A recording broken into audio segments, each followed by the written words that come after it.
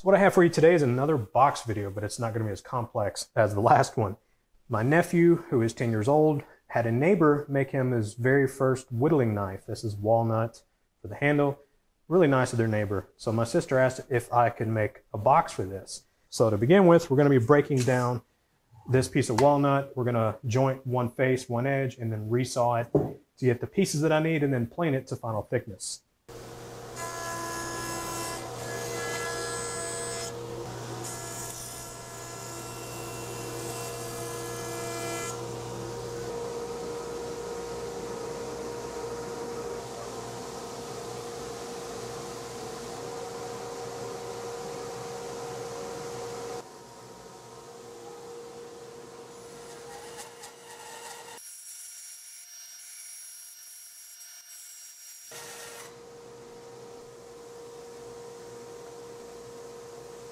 All right, so I've got these resawn at the uh, bandsaw. Now before I take them down to their final thickness, because I don't have a lot of room to play with, I'm gonna cut the final two inch width piece out of this so that I'm not having to flatten the entire surface.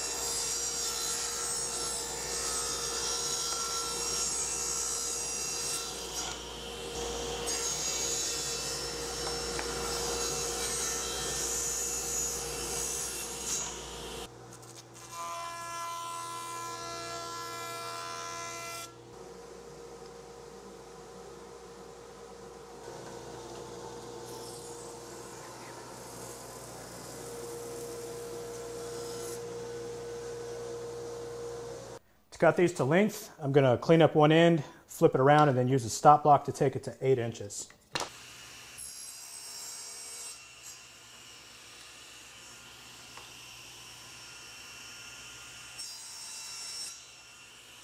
Now we're ready to cut the pocket out, and I've got the walnut blank attached to my CNC bed, and I'm using an eighth of an inch spiral bit.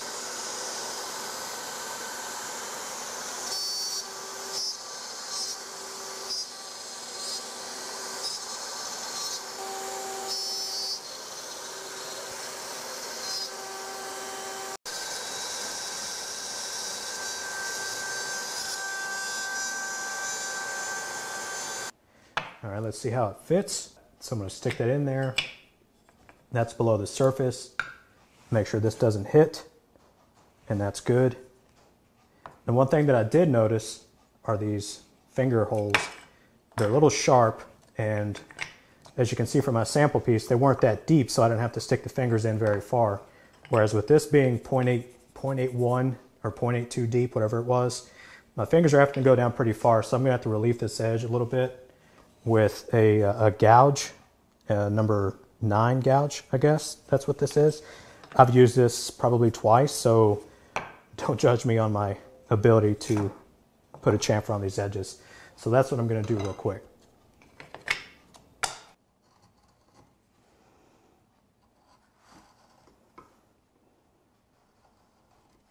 The suede that I'm using is this brand here. I think I got it at Woodcraft several years ago. Uh, it does talk about sealing the surface that you're going to be applying this adhesive with uh, shellac if you're using wood. So I'm going to just brush some on with an acid brush, just using some de-wax shellac. I'm probably going to put a coat on it, uh, let it set, dry, and then apply the adhesive. I'm going to apply the shellac uh, liberally, get it nice and sealed the shellac is dried. I'm ready to apply this. I've got to open it up and mix it. And first I need to get my glasses on.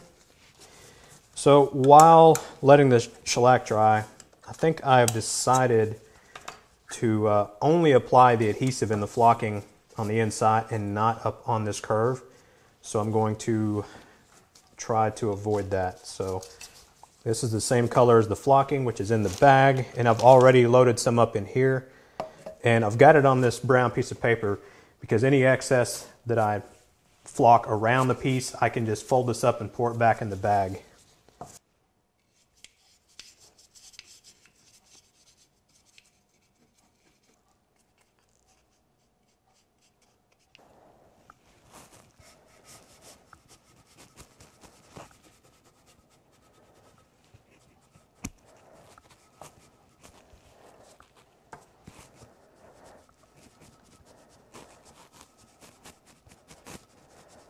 Box is clamped up and I've got it in my vise. It's flush on the back and I'm gonna go ahead and install the hinges so that way I can flip it over, install the latch, pull them off, uh, apply the finish, and then we're good to go.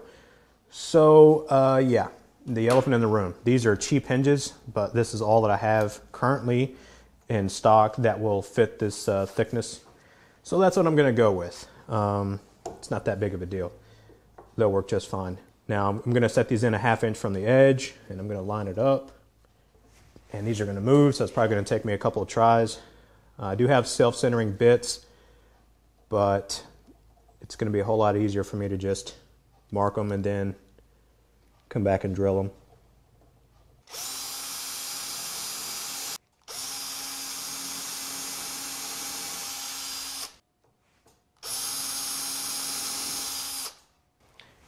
Going to use the screw wax to screw these in. These are uh, probably brass plated. Um, they did not come with a standalone steel screw, so I'm going to use the screw wax when starting these holes.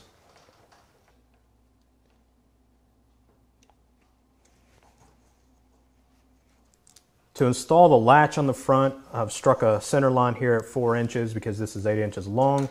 These hinges, which I'll never use again, allow me to move the lid just a little bit. So I've got it raised up just enough to catch my fingernail on it. And I'm gonna put this bottom part and butt it up against the bottom of the lid that now that it's raised, I'm gonna center it by eye on this center line and then drill with the drill bit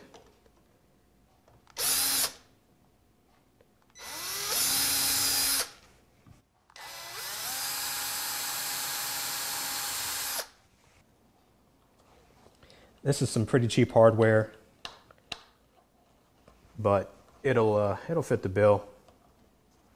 It's all that I have in the shop.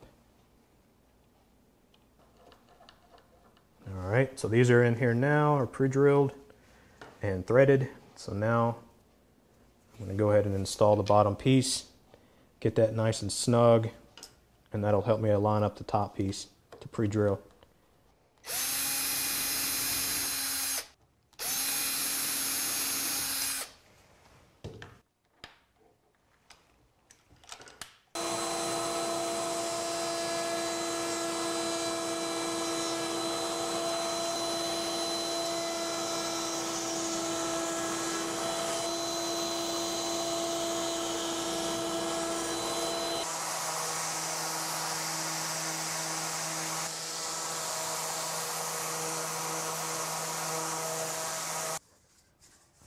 I like to refit all of the hardware just to make sure everything is good before I apply the finish. So I got the hinges installed, the latch, everything looks good. Uh, so now I'm going to apply several coats of a D-Wax shellac. This is a one and a half pound cut blonde. Uh, I'm just gonna wipe it on and uh, you know give it a nice sheen.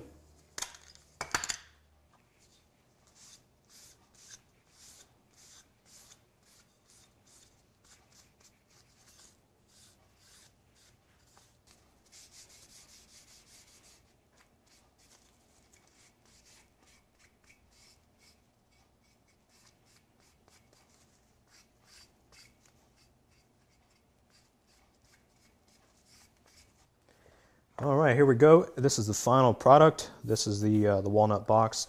Here's the knife that goes in it. Fits perfectly. Doesn't rattle too much. That flocking holds it in there pretty well.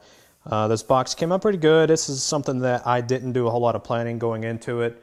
Uh, so this is kind of uh, on the fly. I did, of course, make the CNC pocket, uh, the G code for that. But the rest of the box, I just found some hardware that I had laying around in the shop, some hinges in this latch, and, uh, and put it together. This is going to be a pretty nice little box for my nephew. He's going to love it. So that's the important thing. It's definitely not a piece of fine furniture. Uh, there's some things that I could do a whole lot better if I were to do it again. Um, but yeah, he's going to love it. So that's the important thing. This came out great. So that is uh, for this video. Just a quick video on how to make a little box for his whittling knife. So I hope you guys enjoyed the video. Thanks for watching.